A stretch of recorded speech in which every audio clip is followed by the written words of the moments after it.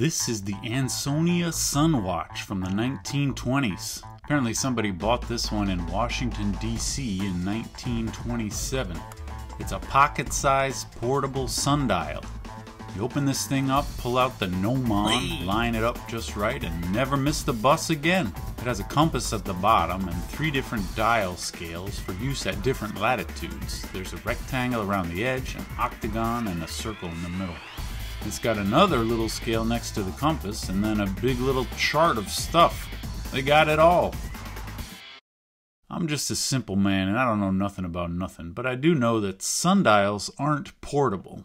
You gotta position it on the ground just right with the angles and such, and then the scale you use has to be specifically calibrated for your longitude and latitude. So, how could you ever make such a thing portable? Well, if you know your longitude and latitude, all the angles and such really boil down to finding north. And this thing's got a compass, so I guess it could work.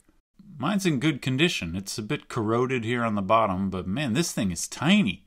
You want to know what else is tiny? The original instructions manual. Fits right in there. I scanned it so the internet can have it forever. Click the links down there. It's the tickless timepiece.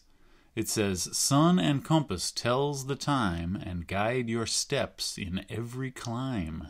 Every clime? That's not really true at all. Like, this is the only type of clock where the clime actually makes a difference. Every clime? Come on now. The Ansonia Clock Company didn't invent the portable sundial. This is a variation on a very old design called the diptych sundial. It opens like a clamshell, and the bottom has a compass so you can orient it right. There's usually a string that acts as the gnomon. Turn the compass to line up the N, and the string casts a shadow telling you the time. This one here I got at a yard sale in my town. I think it came from France. This other one I got on eBay. I thought it might be a real antique based on the pictures of the inside, but the outside is all wrong. Looks like it came from a museum gift shop somewhere. These things are cute, but really it needs some work if you want it to be useful for modern time telling. The positioning of a sundial is a pretty touchy business. The compass helps you point in the right direction, but an accurate sundial scale needs to be fine tuned specifically for your latitude, plus an adjustment for your longitudinal position within the time zone, plus another adjustment for the calendar date. This is complicated, but the Ansonia Sunwatch actually does it pretty well. One thing that helps is that this is very specifically designed to be used within the continental United States. That's a pretty big area, of course, but the latitude across the US only really goes from about 25 to 50. The three different scales on it correspond to different latitudes. You just pick whichever's closest 35, 40, or 45. And the case has a handy chart here in case you don't know your latitude offhand. I'm near New York and it says latitude 40, so I'm going to use the 40 scale. And the pointy thing, that's the gnomon. It has tiny markings on it to make sure you pull it up just right. Over here, it's got a mark that you use with the 40 scale, and on the other side are marks for 35 and 45. So for New York City, I'm going to pull it up to the 40 degree line. Next, you use the compass to point in the right direction. You need this thing to be pointing north.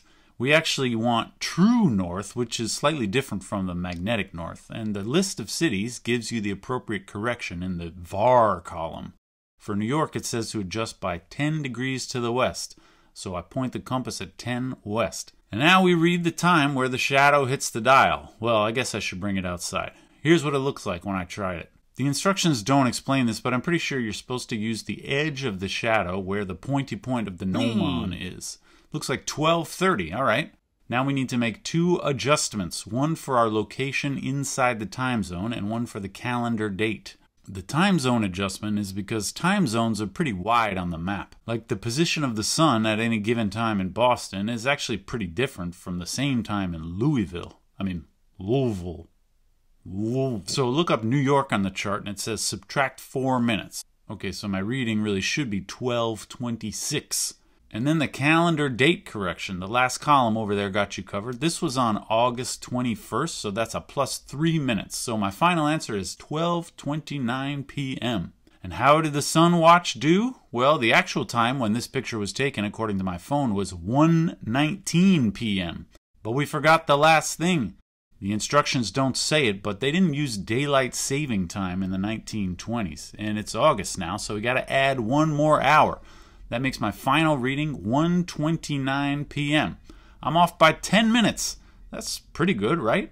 I tried this thing over and over again at different times of day, and the accuracy is generally within 10 to 20 minutes of the clock time, which is pretty good, I guess. The scales are pretty rough, so it's hard to read with very much precision, and my magnetic correction of 10 degrees is probably a bit out of date too. Did you know the Earth's magnetic pole moves over time? And in New York, they say it may have drifted up to 3 degrees over the last century. And what do you know? I tried adjusting the compass angle to compensate. I tried to go about 12 degrees instead of 10, and this swings the answer by about 20 minutes. So maybe this thing was really more accurate back then. This one obviously is meant to be used in the continental United States, but they made other ones for different regions. Here's a picture from the Cambridge University Museum of one made for Great Britain. You can see the list of cities is all different, and the UK latitudes are quite a bit further north than the US, so the scales there are for 51, 54, and 57. This kind of basic design is actually very old. Here's one from the museum at Oxford, made around 1600 for use in Europe, and it has the same basic setup. They even got a list of corrections for different cities here and a calendar with more corrections on the other side. So the Ansonia Clock Company wasn't exactly breaking new ground here, and it's a bit of a gimmick that a clock company would even make such a thing. But it was probably cheap and it's made of brass, Ansonia loved brass. Would you mind a brief story about the strange history of the Ansonia Clock Company? It all started in the early 1800s with the Ansonia Brass Company, later called the American Brass and Copper Company, located in Ansonia, Connecticut.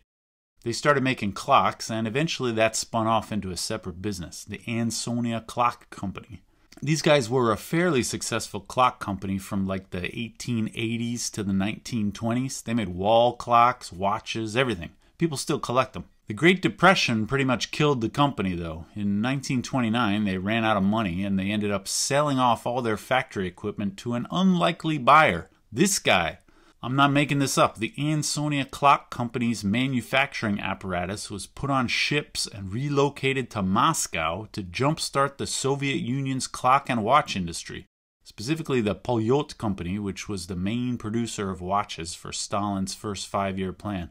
This was basically just a rebrand of the Ansonia Clock Company. So the Ansonia Clock Company left these parts a long time ago, but Ansonia, Connecticut is still a real place, and actually it's right near where I live, so I had to check it out.